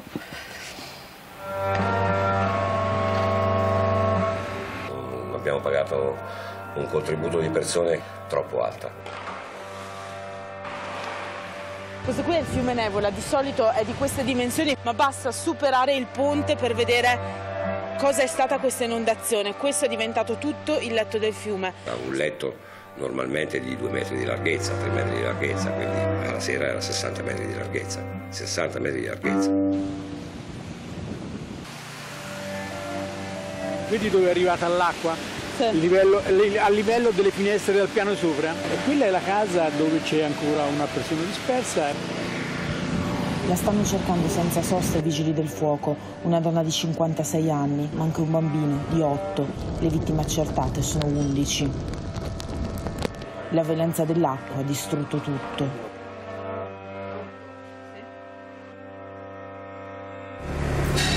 Guarda, è recintato, non c'è più recinzione, non c'è più niente quello è il capannone mio, la, la, okay, l'ha sventrato. Questa era una zona d'ingresso e questi sono gli spogliatoi. Stamattina il sindaco mi ha detto che avrebbero iniziato a portare via i detriti, ma adesso ricomincia a piovere. E quella è la preoccupazione anche, no? Presumo. Dentro questo mulino entriamo camminando letteralmente sopra i pacchi di farina che erano pronti per essere venduti. Era tutta la consegna, tranne questo qui, questa era tutta la consegna. Tra merce danneggiata, macchinari, siamo intorno a un milione e mezzo di euro. Mauro, usciamo qui la porta, ma non è facile. Ah, bene. Che disastro. Allora Renzi, la questione delle marche, l'Italia dell'eterna dell emergenza. Sempre il latte versato. Eh? 11 morti per ora, i due dispersi e ricordiamo la raccolta fondi che oggi il TG La 7 col Corriere della Sera da oggi è, è attiva. Prego. Io la trovo una cosa immorale perché, perché non per merito del mio governo ma per merito di un signore che è un grande italiano che si chiama Renzo Piano, sette anni fa è nata una struttura chiamata Casa Italia e poi Italia Sicura. Cosa voleva fare? Voleva cercare di prevenire queste vicende qui, partendo da un caso devastante che era quello del Bisagno a Genova. Pensate che nel 2011 e nel 2014 nello stesso punto il Bisagno ha trascimato due volte e ha creato morti in entrambe le C'è un sindaco che è stato lungamente in e, carcere per quello, indagato. Diciamo, ha, ehm, è stato condannato. condannato. Il punto fondamentale è che allora noi abbiamo messo 500 milioni per il Bisagno. Oggi il Bisagno è fortunatamente fuori pericolo, ancora sono da finire i lavori, finiranno tra un anno e mezzo. Abbiamo fatto un'unità di missione, sa quanti soldi abbiamo tirato fuori? 8 miliardi e 400 milioni. E abbiamo detto, non li gestisco io, che sono un Presidente del Consiglio che tra un anno, due anni, tre anni scado. Non li gestisce quello dopo, li lasciamo a questo progetto, a questa casa di missione, a questa unità di missione Casa Italia. Sapete chi è chi Renzo Piano ha voluto per fare il capo di questa struttura? non un amico di un partito, ha chiamato un signore che si chiama Giovanni Azzone, che era l'ex allora rettore del Politecnico. Perché vi racconto questa cosa quando vedo le immagini delle Marche, perché ci sono alcune zone dove queste cose non accadono più. Nella mia Toscana 130 milioni sulle casse d'espansione a Figline, la diga di Levane e oggi l'Arno è messo in sicurezza. Dovesse arrivare un'alluvione stile 1966, anziché fare 10 metri d'acqua, farebbe 10 centimetri d'acqua. Però... Però... ci sono alcune zone in cui, per colpa della politica, dei ritardi della pubblica amministrazione, paradossalmente proprio del governo Conte che ha cancellato l'unità di missione voluta da Renzo Piano, i soldi per la cassa di espansione del MISA, cioè la cassa di espansione di questo torrentaccio sopra Senigallia, li avevamo liberati subito, 45 milioni e 100 mila euro su 8 miliardi hanno chiuso l'unità di missione, il ministro che ha chiuso l'unità cioè, di missione... l'hanno fatto perché poi pensavano Scusi, che si no, sarebbe... Voi le avete sbloccati, ma chi Noi li abbiamo stanziato i soldi Eh. e abbiamo detto, siccome i soldi li stanziano tutti ma poi non li spendono perché c'è da fare Mm. progettazione, gare e esecuzione, abbiamo detto diamo una struttura ad hoc che faccia la progettazione e che velocizzi... Questo. Questa struttura è stata chiusa giugno, nel giugno del 2018 dal ministro Costa, ministro dell'ambiente del governo giallo-verde. La chiusura dell'unità di missione ha prodotto un ritardo che ha portato il progetto ad essere approvato più in là, la gara ad essere fatta più in là e se non vado errato, la gara è partita soltanto nel Non 2021. sarà solo per questo, glielo dico perché voglio dire, Scusi, elettorale... quello che voglio È una cosa. È una ricostruzione, Scusi, Sì. scusi, allora Io- lei mi porti chiunque a smentire i fatti e le dico un'altra cosa. Io forse sarò rieletto senatore. Se sono rieletto senatore, firmo una proposta di legge, la prima, appena rieletto, e dice semplicemente questo. È istituita di nuovo l'unità di missione voluta da Renzo Piano, mettano il nome che vogliono, e cancellata Benissimo. dal Capiremo governo Conte. la ragione Allora, perché l'hanno tutti chiusa, devono questo dire di sì, ora. perché è folle che si dica di no all'unità Sappino. di missione Cioè, voluta da torniamo a. Palermo dove Sap- lei sta per Esatto. andare Nessuno a ne suo- parla, capito? Perché poi mi fanno le minacce, ne- mi fanno No, le minacce, va ma bene, nessuno ci- parla delle ci questioni vere, Allora, Sappino e ringraziamo il direttore Molinari per essere stato con noi. Luca Sappino, Luca Sappino a Grazie, te- Molinari. Grazie direttore, ti affidiamo la chiusura di a questa parte. Perché c'è una replica durissima di Conte poco fa, no? che non sta seguendo evidentemente la trasmissione Sì, nostra. ma non ha mai il coraggio di fare un confronto Vabbè, con questo, questo- capito? proposito- Cioè, invece che minacciare Sappi- senza scorta, vieni in Se- studio e A parliamo. proposito di minacce, sì. Mi ha salutato. Vai Sappino. A proposito di minacce, sì, è arrivata una dichiarazione di Giuseppe Conte, eh, dice Renzi la smetta con le furbizie, non scambi per invito alla violenza l'appello che gli rinnovo, si confronti senza filtri con il mondo reale e ascolti la voce di chi non ha niente. L'unica vera minaccia è quella che Renzi rivolge ogni giorno verso chi è in gravi difficoltà economiche e non arriva neppure a metà del mese. Questa diciamo, è la precisazione di Giuseppe Quindi Conte. insomma l'invito è come, è come se Ma- ma ci fosse il tema del norma- privilegio Ma economico, vi vede che alla fine normale- è Ma vi sembra normale che due ex presidenti del Consiglio non possano fare un dialogo civile nella settimana delle elezioni? Moderati da dei giornalisti, moderati da chi vuole Conte, scelga Conte i giornalisti, vuoi mettere Casalino, faccia moderare a Casalino se vuole. Ma il punto fondamentale è, vi sembra normale che io sia costretto, e ringrazio Sappino, e ringrazio tutti i vostri collaboratori bravissimi, a dover rispondere per, come dire, attraverso un eh, giornalista e non posso parlare con uno che tre ore fa mi ha detto vieni senza scorte e vediamo come va a finire. Ragazzi, Allora, ma- l- eh, questo è un invito, diciamo che questo è un invito a un sui confronto. Le, le faccio una domanda molto precisa perché Peter Gomez ne ha parlato in apertura di puntata ed è giusto che lei abbia la possibilità di replica. Eh, Peter Gomez ha detto Renzi oggi ha due problemi, i, i suoi due problemi del giorno sono uno il viaggio in jet privato da eh, Lugano che sembra riecheggiare nelle parole di Conte, il privilegio, la povera gente, quelli che non hanno nulla, quelli che hanno tanto. Intanto mi risponda su questo, poi le dico il secondo. Ma di che cosa stiamo parlando? Del fatto che vengono utilizzati gli aerei privati? Perché c'è la questione ambientale che la gente dice che gli aerei privati creano CO2. Amici cari, ma avete un'idea di cosa serve per rimettere a posto l'ambiente in questo paese? Servono le trivelle con il gas, serve eliminare il blocco delle sovrintendenze alle rinnovabili, serve dare il via libera alle infrastrutture come il TAP, serve la nave rigassificatore, servono le scelte strategiche, compreso il nucleare di nuova generazione. L'emissione che arriva da un aereo privato è minima, ma se possiamo andare su questo terreno così banalmente populista, le dico che le missioni fatte dall'aereo di Giuseppe Conte e di Luigi Di Maio in questi anni, perché hanno parlato di noi andremo con i voli di linea No. e sono andati sempre con i voli privati, No, come naturale. Renzi, i è populista, ma allora fra i non suoi mi venite a dire elettori- queste cose No, di fronte al fatto che c'è un problema ambientale enorme, venite a È un- raccontare è la una questione, questione del volo perché privato. fra i suoi elettori, non quelli prendo che il bus si elettrico io, no, non Però prendo i il bus suoi elettrico. elettori quelli che si occupano dei problemi della... Lei, lei ha appena fatto riferimento al dissesto idrogeologico e alla cura del territorio. questo Tra i suoi elettori ci saranno anche alcuni elettori che hanno a cuore diciamo, le, le emissioni, la tutela ma dell'ambiente. certo le quindi emissioni, ma, che ma lei la tutela delle emissioni, la tutela dell'ambiente non la fai vietando i jet privati o vietando le macchine o vietando Beh, le automobili vietando di lusso. alcuni tipi di macchine, No, sì, guarda, quello a me ricorda quando Monti questa polemica contro i jet privati, che non viene fatta su di me, viene fatta in generale, perché una forza politica dice aboliamo i jet privati. Allora,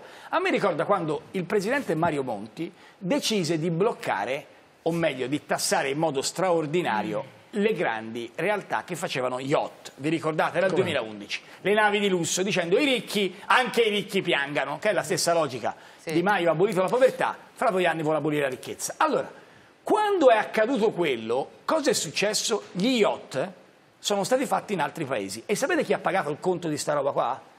I dipendenti del settore cantieristico di Viareggio che sono andati in cassa integrazione o sono stati licenziati. Va bene. Allora, Allora, è non chiaro, facciamo i penso che i populisti. suoi elettori Dopodiché Enrico Letta prende il bus elettrico e rimane a piedi, Vabbè, ma almeno fa lo slogan su Twitter. però ci io, va dico, almeno. io dico, io dico, è evidente che bisogna fare una grande scommessa per la gestione dell'ambiente. Non si fa con i voli privati o Però prima di private. passare Gli Renzi, a diremo- Massimo possiamo Popolizio, soltanto di che chiudergliela così? Eh. Liberté, égalité, jet privé a questo punto per Renzi Diciamo, che... Però io volevo- volevo- forma. volevo Jet privati poi anche lì si sta parlando di gentilezza. strumenti che vengono utilizzati da tutti Io volevo, tutti. oggi era tutto E il dai, giorno che ragazzi. volevo chiederle, ma Eh. quanto le dispiace che alcuni leader politici non prendano soldi dai leader stranieri perché così le rovinano il mercato? È tutto il giorno Guardi, che le volevo fare questa domanda. guardi, Adesso- io, io trovo affascinante che a fronte di una posizione politica come la nostra, che sul MES sanitario, sulle infrastrutture, sull'eurocultura, perché lei è- un'euro- mi faccia fi- mi fatto la domanda, No, anche no, no. simpatica, mi faccia finire. Però lei subito. deve andare, eh? Lei Sì. ah, deve andare, deve andare lei alla risposta. Lei mi deve dare, io arrivo alla Prego, risposta. prego, prego. Quello che trovo affascinante quando io vengo in televisione in alcune circostanze è che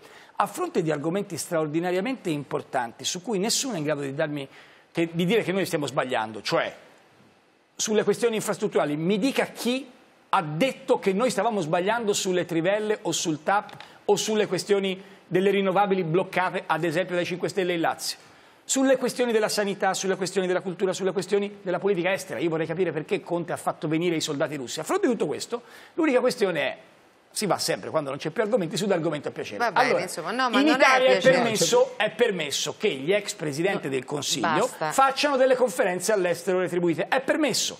Se domani sarà vietato io non le farò Vabbè. più. Nel Quindi- frattempo che è permesso ci sarebbe da domandarsi perché a me mi chiamano e a Conte no. Vabbè. Ma No, va bene, ma quindi vedremo. chi lo fa gratis, diciamo, non No, no, Conte sbaglia. non lo fa perché No, evidentemente non parlo di qualcuno Conte. non Non lo disse Parlo di Salvini. Salvini Gara- disse io non divento ricco al mondo facendo le conferenze. Abbiamo chiuso, per forza, è abbiamo chiuso, sì, rispondo alla regia che è disperata, abbiamo Grazie, chiuso, però io non posso mandarla via senza chiederle una cosa di 10 secondi su un tema che davvero mi sta molto a cuore e che è molto delicato. C'è stata un'altra polemica oggi che riguarda un senatore del suo partito che è stato accusato di eh, molestie da una mh, donna di cui non si Richetti, conosce il nome l'hanno Matteo fatto, Richetti. quindi è Matteo Calenda ha risposto in maniera molto sbrigativa, c'è una presunzione di innocenza diciamo, che riguarda evidentemente entrambi, però io vorrei sapere su questo la sua opinione. La molestia sessuale è un reato vergognoso e da punire in tutte le sedi.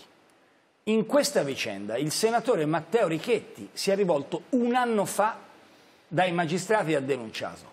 La vittima o presunta vittima, proprio per la presunzione di innocenza, non ha risposto sul punto. Allora, se la presunta vittima ha le prove di quello che sostiene nelle sedi giudiziarie, giornalistiche, è giusto che le tiri fuori. Allora, in Ma questo, siccome momento, in questo momento siamo di fronte a una No, duplice no, però presunzione scusi, di scusi, innocenza. scusi, Lei perché alla dice, ho fine- capito bene? Alla fine sui contenuti noi non si riesce a parlare sui contenuti perché si arriva sui jet privati, sulle conferenze all'estero e sulle presunte violenze. No, allora, vediamo di essere chiari. Vediamo di essere chiari.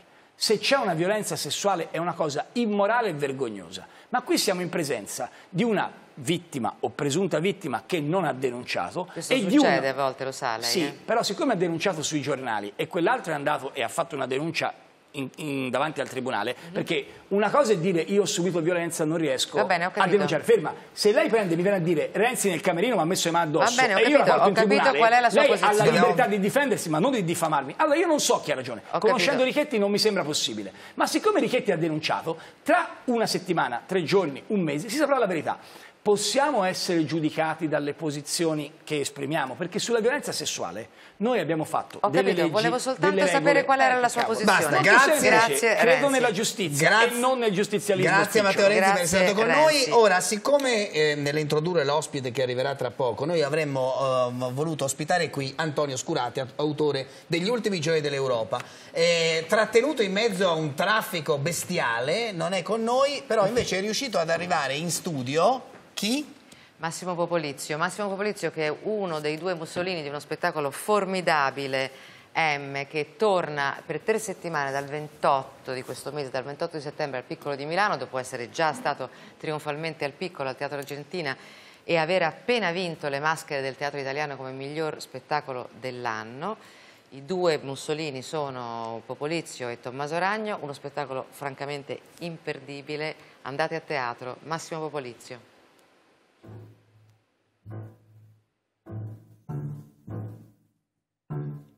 Ah, che soddisfazione. Beh, già vincere è una sorta di orgasmo, ma vincere in casa dei rivali francesi è meglio che fottere, puro piacere. Gli azzurri di Vittorio Pozzo, che all'esordio a Marsiglia vengono contestati dal pubblico francese per il saluto romano, quegli stessi azzurri nei quarti di finale schiantano per 3 a 1 proprio i padroni di casa indossando la divisa nera voluta dal regime. Puro piacere. Il campionato del mondo di calcio del giugno del 1938 si era annunciato sin dal principio come una versione incruenta e in calzoncini corti della guerra europea, campionato vinto per la seconda volta consecutiva dall'Italia fascista. Non si sarebbe potuto immaginare niente di meglio per umiliare i francesi, dopo che lui, Mussolini, con il suo discorso di Genova aveva scatenato in tutto il paese una possente ondata di gallofobia. E adesso si compiace il duce del fascismo, si compiace e si esalta. Ma perché mai?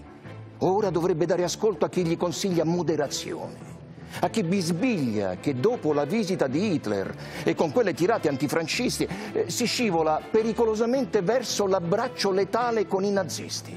Ma tutto il contrario, per Dio. Bisogna invece accelerare, radicalizzare, totalizzare. Bisogna liberare l'Italia dall'ultima schiavitù, quella francese. Perché? L'Italia dovrebbe accontentarsi delle briciole lasciatele da inglesi e francesi che neanche tre anni prima, ai tempi della conquista dell'Etiopia, li hanno punita con, con sanzioni durissime.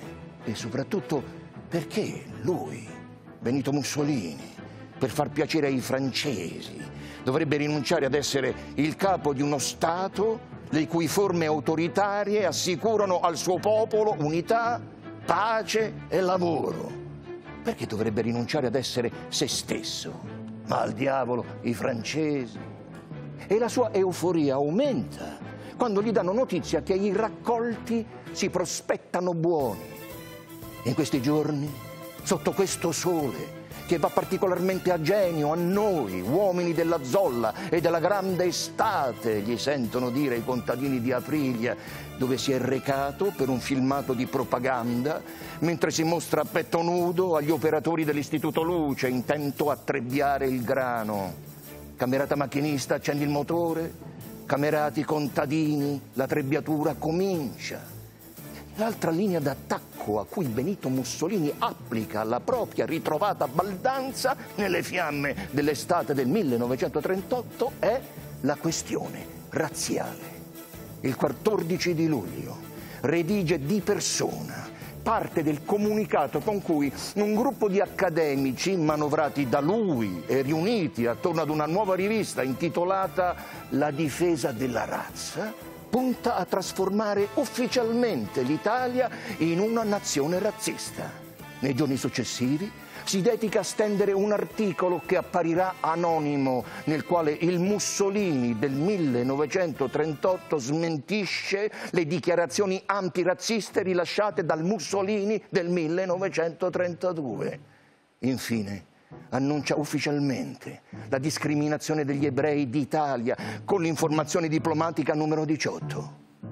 Sappia il mondo che sull'amicizia con Hitler, come sulla questione della razza, l'uomo della grande estate tirerà diritto. Camerata macchinista, accendi i motori, che la trebbiatura abbia inizio. Beh, Grazie, Grazie. grazie Massimo Popolizio, grazie Massimo Popolizio, protagonista insieme a Tommaso Ragno di M, di nuovo dal 28 di settembre al Piccolo Teatro di Milano per tre settimane, il, del libro, della, terzo della trilogia di Antonio Scurati, Gli ultimi giorni dell'Europa. Lo spettacolo è tratto dal libro precedente, questo è il successivo ed è appena uscito, parleremo credo dopo le elezioni a questo punto. Con Scurati lo invitiamo, Scurati, dal 38 al che 40 in- va questo libro. E... Beh, dobbiamo assolutamente parlare con lui perché è veramente un meraviglioso, un meraviglioso racconto degli ultimi giorni dell'Europa. Ancora grazie a Massimo Popolizio per questo regalo e noi ci vediamo domani alle 20.30. Con eh, Enrico Letta, Con no? Enrico Letta. Ciao. A domani. A domani.